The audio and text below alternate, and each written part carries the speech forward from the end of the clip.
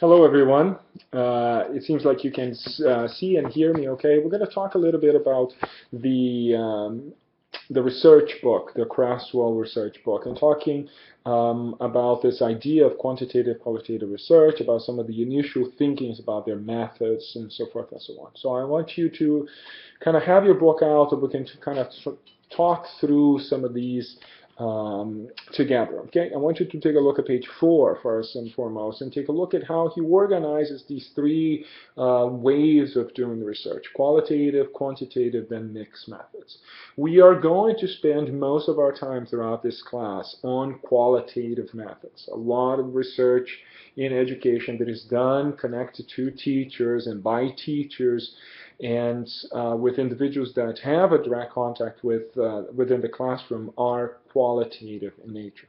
Of course, we can do surveys, we can do things that are connected to um, larger data collection, right? Connection that will lead into kind of statistical analysis and kind of uh, that try to uh, to look at the more general kind of sets of information, which is quantitative kind of research. Um, we're going to look a little bit on that, but we're going to focus mostly on qualitative research. The aim of qualitative research is to look at social and human problems, all right? And, and again, the issue, just as we discussed in the first class, is not simply to see problems as something that have to be solved, something that we have to find a resolution to, but problems as issues, questions, notions, um, then we can address, that we can tinker with, that we can try to lead to a new place, so to speak, right? And those are the kind of key elements for qualitative research, which is what we're going to be uh, focused mostly on it.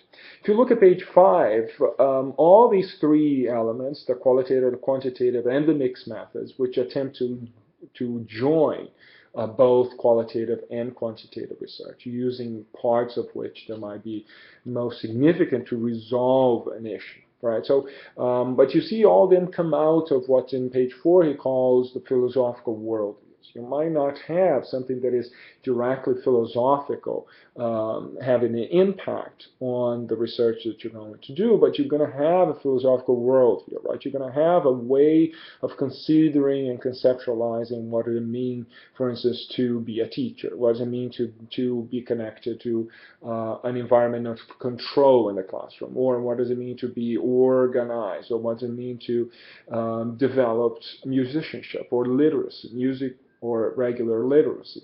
Um, all those are part of a worldview, right? If I think that, for instance, informal, informal education within our, my classroom is important, my worldview view is kind of formed to an understanding that there are things that are best done with the direct guidance and intervention of a teacher. But I know also that there are other things that are best discovered, and therefore they're connected to this informality of learning with others, learning without a specific and very direct aim in mind. Right? This worldview comes from my understanding that learning is holistic, that it's complex, that involves many aspects, and that if I'm always interacting in the same way and through the same form, I might not only be lacking something that I need to figure out on my own or that I need to learn through some search that uh, that comes out of a question rather than something I need to um, to complete, to fulfill, right? But it comes out of an understanding that um, interaction as well as uh, self-discovery, as well as information, data-driven information, as well as kind of project-based structures are uh, form a certain complexity that helps, that optimizes learning, right? So all these are part of what he talks a little bit in terms of uh, philosophical worldviews, which I think it's, it's interesting and it's important,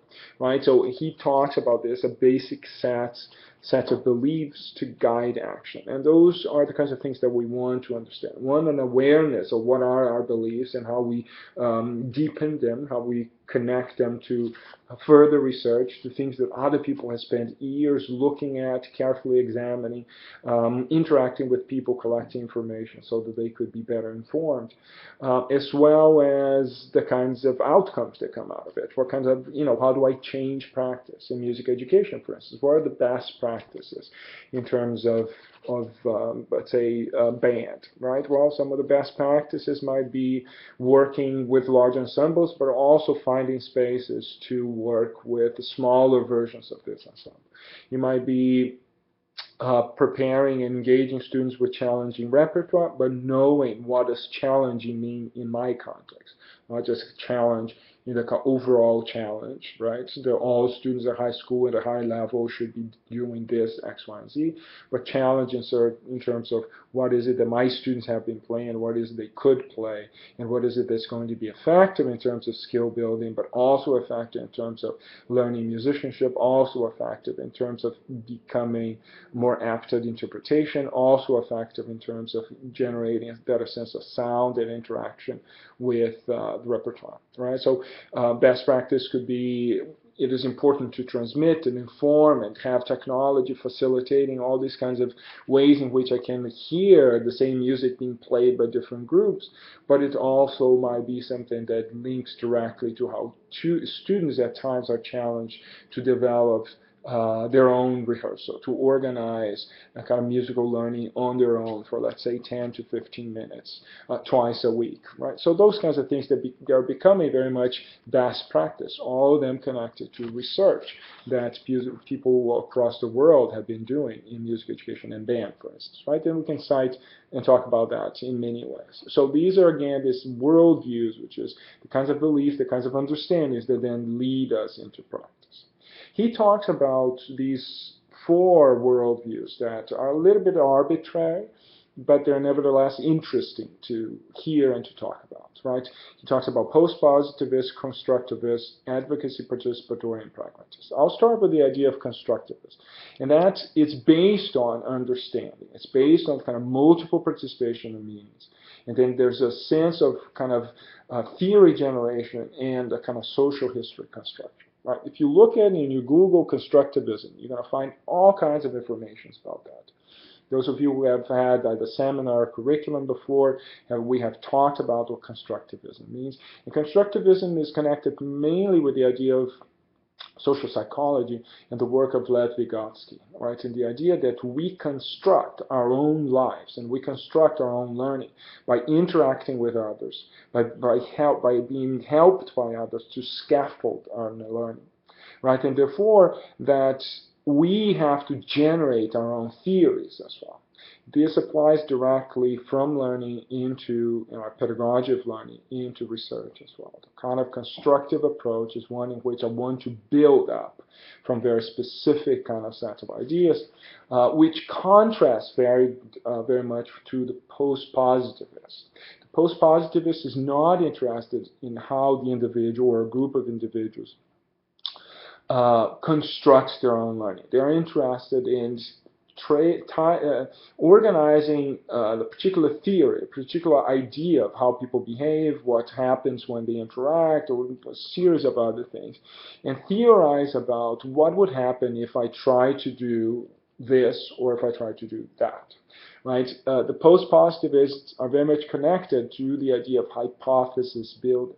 And a hypothesis always functions in trying to look at what would happen to a particular set of groups if I do uh, particular, um, if I try, if I test something upon them, right? And particularly what happens in relationship to a group that, to whom nothing is happening, right? This is traditional kind of uh, idea that is connected to uh, the natural science. So when you, you know, we have a drug company trying to develop a new uh, heart medicine, what they're going to try to do is they're going to do a particular set of things. They're going to put somebody in diet, they're going to control their sugar, and they're going to give you, them, them this, this drug. Right? And then over time, they're going to see what happens to this. And the hypothesis is that the collaboration between those three things right, will actually improve their heart conditions. They do similar things, but now with the control group, you know, they do, they give them, rather than the drug, the placebo. Right? So they think they're taking the drug, so psychologically they're still connected to it, but they're actually not receiving any treatment. And they compare the two. Right? So post-positivism is very uh, reductionist. They try, they, they see the complexity in the work can be reduced to something very specific. And you can imagine that this is easier done in natural science and medicine than it is, or physics or, or, uh, or biology, than it is in education or in psychology, although many psychologists try to do that as well. Right, but human and complex human interactions such as schooling, which depend on a lot of different things, depend on who I am, depend on my family, depend on the context, depends on the environment, depends on economics, culture, all kinds of things, right? Become much more difficult to deal with with this post-positivist idea. That oftentimes, as I said, to, to reduce these things and try to create a certain level of determination. They say basically that if you do this, something will happen that is immediately connected to this action. Well, if you think in, in terms of psychology, you can Google the, the name Thorndike and you see a lot of the psychological experiments that were very much sequential, very much understanding a sense of that, that things can be, um, you, you, know, empirically tried out and they are determined by certain things. Another kind of, uh, of research paradigm that is mostly qualitative is the participatory or advocacy based. These are very much connected to things like we saw, for instance, with um, Jacobus Nietzsche in that first presentation that we saw. Jacobus has this idea of participatory literacy, and the aim is to connect El Sistema with a pattern of change. Right? So these kinds of um, agendas for um, for educational research are very much connected to political issues uh, and, uh, for instance, policy issues, and they're connected to populations perhaps that sometimes don't have a lot of voice, or they might be minorities, the disenfranchised. And the aims is really kind of to interact, uh, to, to develop a conversation, to develop a kind of way of looking at something that might change not only my own participation, how I see it, might give me different ideas of how this functions, right? And the, the, the aim is also to bring along participants uh, to help them to see themselves differently, to think about something different, to have what what um, Creswell calls in, uh, on page 10 the idea of an emancipatory view right? The post uh, the post positivists they're only trying they, they're trying to just simply see if what they think is going to happen will happen if I do this, right? So in music education, you you have some old studies, for instance, that say, well, what happens with clarinet playing if the kid has braces, right? So something very direct that I can see immediately. The constructivists are trying to see about the process well, the uh, advocacy participatory, they're trying to see about context and trying to see a, to look about change, right? And then we have a pragmatic view, which is kind of a, a little bit of in between of all them, right? And they mix different things, and the issue is really to pragmatics. It's this conceptual, but does this conception has an application in practice? It can be connected to theory, to, to politics, it can be connected to constructional knowledge, but do we see a link, a direct link between specific ideas and the pragmatic application of it, right? So those are things we're going to come back and we're going to think more and more and more about that. But I want you to just have a sense of what they are, helping you to think through what you've read.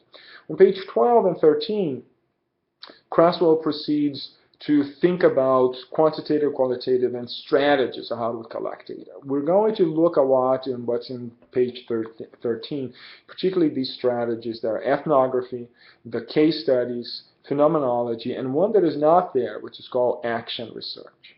Ethnography is based on a lot of information that we know about how the way people work and how you know, ethnography can be traditionally seen by, for instance, what anthropologists have done. They go into a place, they study in depth the details about uh, you know, an environment and how people behave that and what they do and so forth and so on. So the purpose is that in-depth information.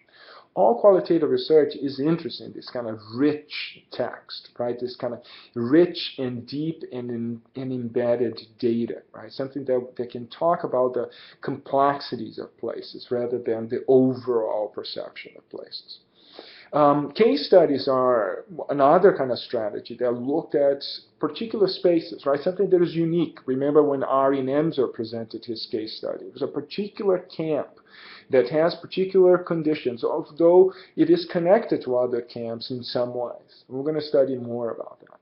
The phenomenological is usually connected to an individual. It looks at a phenomenon, idea, purpose, but it's also usually connected to how individuals see, how they respond. It's something that's very intimate, is very connected to kind of personalities, subjective ideas, right? And then action research is oftentimes connected to, as the name says, to things that are happening in practice. So a lot of teacher research that happens in their own classroom is connected to action research. So all those are qualitative research paradigm, uh, kind of uh, ways of looking strategies that we're going to discuss more throughout the course. But I think it's important that you kind of have a sense of that. Um, part of what I'm asking you to do the following week is to get into groups of two and select one of these group, one of these groups, right? One of these strategies: ethnography, case study, phenomenology, or action research. And um, you're going to do a presentation for us uh, as the weeks evolve. Okay, so pay attention to that. We might have a couple groups of three because we because of the numbers we have in the class. But uh, two or three, kind of select that, connect to somebody else, choose something, and we're going to organize that. On page 12, when you look, you see the kind of quantitative elements, and you see two kind of different things. They're very complex, and we're going to continue to work on them. But I think that at the surface, you can understand that a survey is something generated that's, you know, so I, I do a survey, for instance, of all the alums at FIU, and what I want to know is um, what their perceptions were of FIU, how they see FIU today, and it, what would take for them to become more participative in the life of the university. Right, it's a typical thing that university does. It's a survey sending out, so they get the kind of general feeling across the board, and out of that they select what are the kind of key things that people are saying. They say, oh, here's what you know, your population, all the alums, are saying about their engagement with FIU and what it would take to become more close to them right? That's the key thing of a survey. I want to know what kind of a general thing about a large group of people. The experimental researchers are connected to what I articulated earlier in terms of, let's say, the drugs, right? I do two groups, I control, and I try to do something, a regimen or a regimen of exercise, a regimen of drugs, so forth, so forth and so on. And we're going to explore these a little bit more. Mixed methods try to combine both, and um, don't worry too much about that right now, but uh, you know, continue to look. Uh, we'll continue to look at this forward. So I want you to end by going to page 17. And looking at those two columns there, uh, between quantitative and qualitative particularly and see that all these things that we have talked about particularly they use this practice research as a researcher right? You can see that their quantitative is a lot more connected to to tests, to identifying variables so that you can control, so that what you think you're researching is actually researching. You know, some observations are very detached. Uh, you know, interviews, if there's any interviews, they're always structured interviews.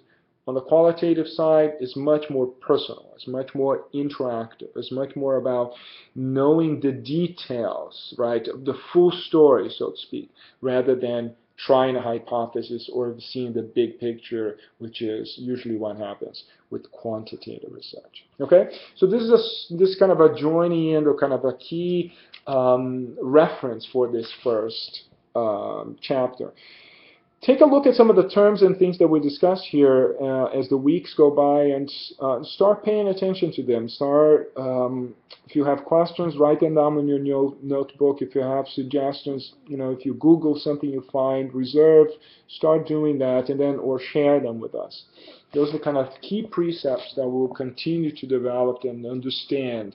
So if you worry, if you're confused, don't, don't, don't, don't, you know, don't get too excited about that. We're going to continue to get back to these, and we'll continue to see those in practice and try them out in the kind of real world and why they matter in terms of how we teach, in terms of how we learn, uh, and how we interact with our students. Okay? All right. Bye bye.